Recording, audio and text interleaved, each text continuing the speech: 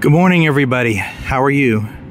Well, today I have a very important video about a drunk driving accident that occurred here in Harris County. And this happened in the year 2000, I believe, 24 years ago. And this involved two young lives that were lost as a result of alcohol and high speed and it says on the sign that the driver was not yet 21 years old. So they want everybody to think and don't ever let this happen to you or any of your loved ones. I remember when this was first on display here and it was in the early 2000s. And yet, the past couple of decades, I haven't been able to do a video or take any pictures of this, and I finally have now, which is really fascinating to let everybody know the dangers of alcohol consumption and driving. So we are in uh, Cypress, Texas, which is on the way to Tomball. And this was put on the display here by the Cypress Creek Fire Department. Harris County ESD number 13 Safety Awareness Program.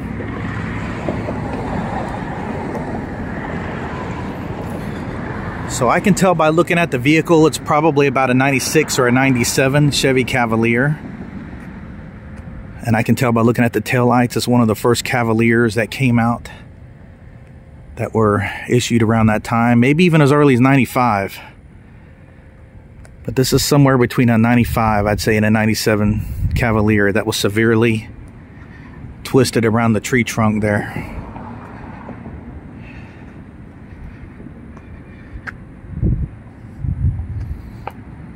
I mean, I have never seen an accident like this before that involved so much crushing and devastation of all the metal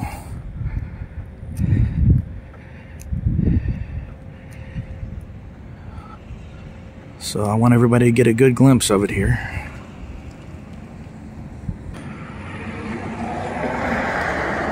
So yeah, two people died in this accident, which is really tragic. I just can't get over how it crushed all the interior parts like this. The seats and the dashboard, everything is just really, really just turned in the rubble like this so quickly.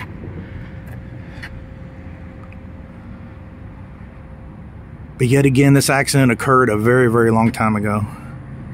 And it's always been on display here for many, many years.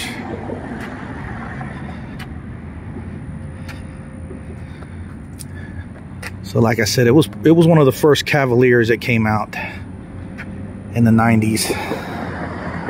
And these were not heavy cars. They were well under 3,000 pounds, I know that. But you can see how it just really crushed the motor and all the other parts under the hood. Surprisingly, the wheels are still intact.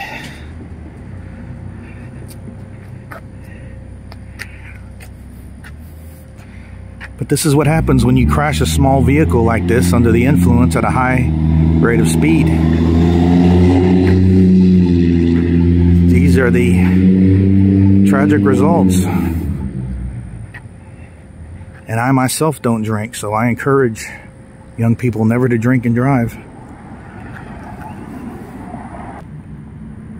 Okay, now we have a really good view of the rear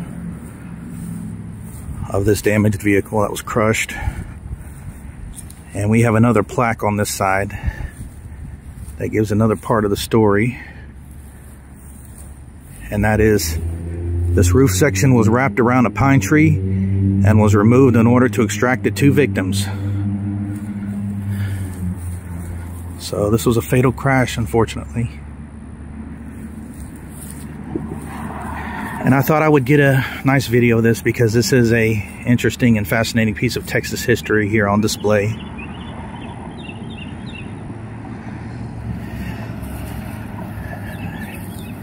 And it goes to show that a lot of people should learn from this and watch this.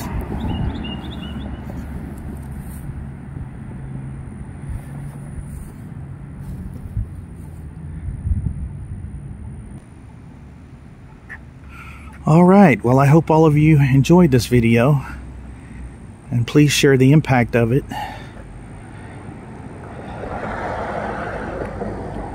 And I will have many other great ones here in the future. It's a beautiful sunny day here in Cypress, Texas.